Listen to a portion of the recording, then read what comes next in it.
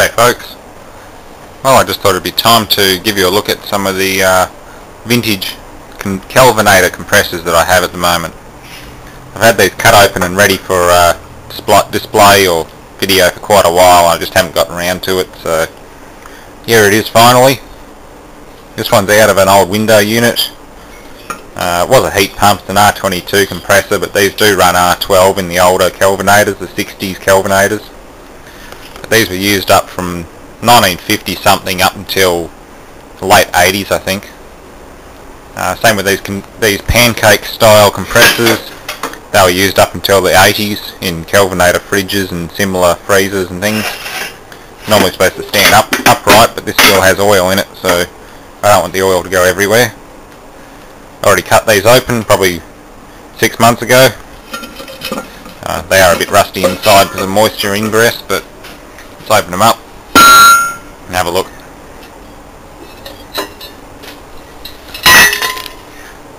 Fairly heavy steel housing. This is the vertical single cylinder reciprocating aircon compressor. It's got four little inlet tubes into this common inlet manifold. Uh, little fanny thing on the motor. Don't know what that's supposed to do, but it's working there air coming out of the uh, taped up discharge. Might even try and wire it up and run it. There's nothing wrong with it, it's just the unit had no gas in it, cracked coil or something and leaked out. As you can see, got the motor, motor rotor, cylinder heads down there with the suction accumulator or suction manifold and a discharge accumulator with a thermal valve on it head pressure gets too high, that blows off and discharges back into the low pressure side. Uh, usual story with a refrigerant compressor, there's nothing too special about them. The motor's actually made by General Electric, so it could be a standard GE design of that era. And this is the pancake one, which is supposed to stand upright, but it's got oil still in it. Uh, similar sort of style, single cylinder. There's a uh, intake, I think. Yeah, that's a discharge. That'd be an, a discharge oil accumulator or something. Discharge is coming out here. Suction is on the far side, I think. Yeah, we can't see that because it's all in its housing, but this one's still hooked up to a run cap and everything, so I'll be able to wire that straight up and run it. I'll just drain the oil out and I'll let it rip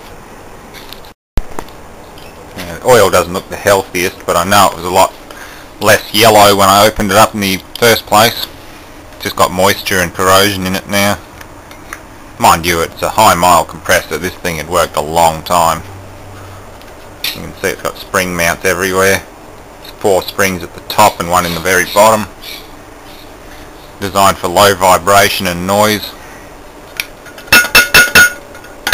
They do still clatter around a little bit, but that's characteristic of them. When you're moving a fridge, you just hear the rattle inside the housing. Try and drain all that oil out. A bit of metal shavings and crap from when I cut it open, but not too much. It's not going to be siphoning oil anyway. I'll just run this thing momentarily. I want to set it up as a display piece anyway. I won't throw this one in the bin. That one there I can get heaps of. Well, I can get heaps of both of them, but I just want to get them out of the way. We'll do that photocopier soon as well. And hopefully get a new camera. I've got some money for a new camera now, so we look forward to that too. Yeah, that is an oil return canister thingy. There's a very fine capillary type line going down there, back up into the housing. Kind of interesting.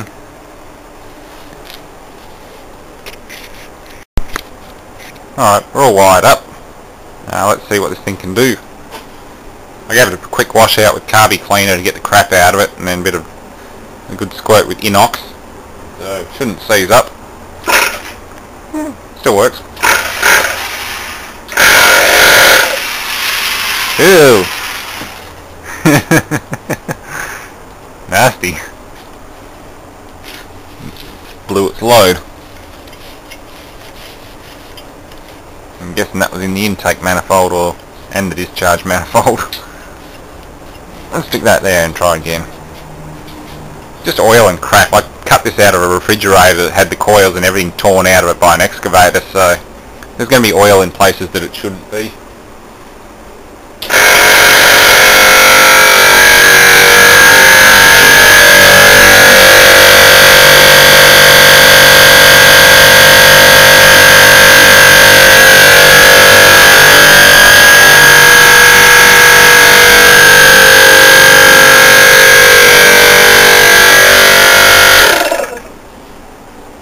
Yeah, it still works fine.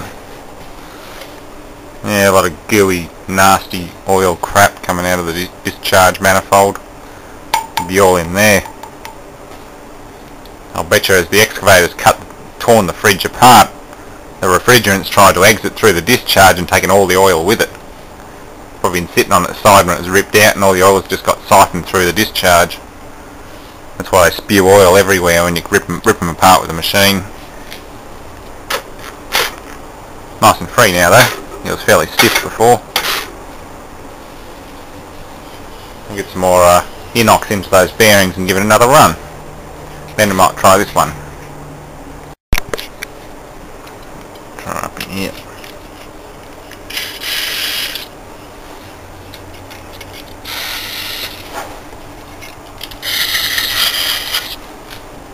Should do it. Oh, I don't want to destroy it just yet. I want to keep it as a working display piece.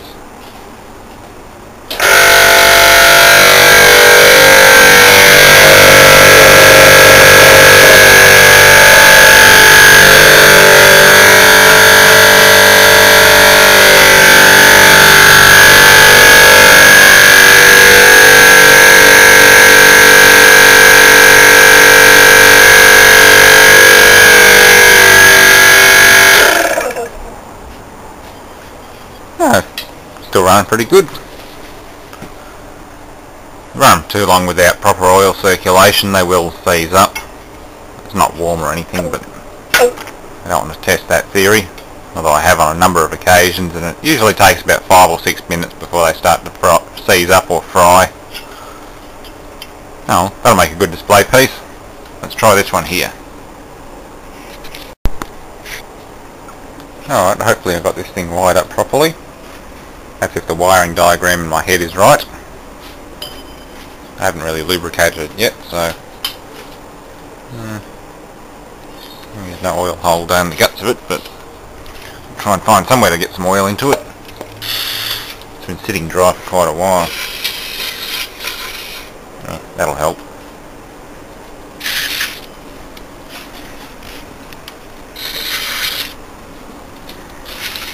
Good thing is it's all flammable, so if there's any sparks, we'll get fire.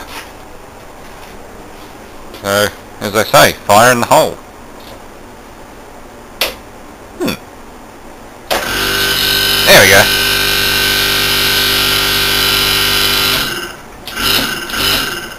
That's working alright.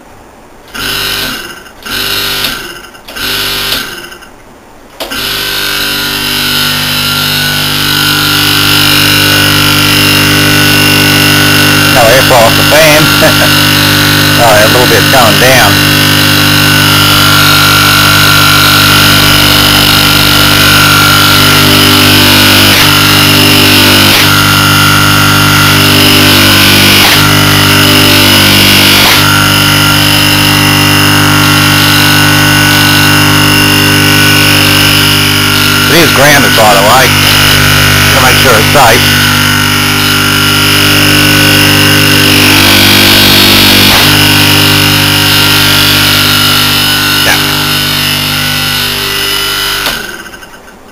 Messy oily thing. Yeah, that was fun. Now I'm covered in refrigerant oil. At least it doesn't smell as bad as that one there. I'm just draining the remainder of the crap out of that. It's working. I don't really have any room to keep these, so I'll probably end up throwing this one out, and that one there I'll find a place for it up and back. And keep it up with the other compressor stuff. Throw out some of the more modern rotary compressor examples and just replace it with something old-fashioned. Bit of a shame, but ah, what do you do? I get tons of these things. If I need one for a demonstration, I'll find another one.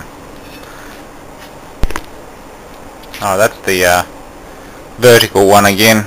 The window unit air, uh, air conditioner compressor. Just before I get rid of it, I figured I'd cut it out of the housing. A two-piece con conrod, bolted bottom end and retaining strap. Well made. A fairly big piston too. Piston's about one and a half inches diameter. Stroke's about an inch at the most. Yeah, a little oil pipe in there. Going straight into the side of the belt plate actually. wonder if it's designed to siphon oil through that. Interesting. Or magnet. It's attached right next to the oil pickup hole. In there. So it catches all the metallic crap. They're a well-made compressor, that's for sure. Still a lot of them in service. I use one every day as my bedroom air conditioner. Still got one of these old things rattling away. They are a bit loud, but they just last. Only reason this unit was condemned was because it had a leak in it. There's no refrigerant left and the coils were too badly rotted out to bother troubleshooting and fixing, so I condemned it. But they are a very good compressor. Um, unfortunately, I don't make them like this anymore. Even the cylinder and everything's nice, solid cast iron. Yeah, very well made compressor. General Electric, 240 volts, 50 hertz.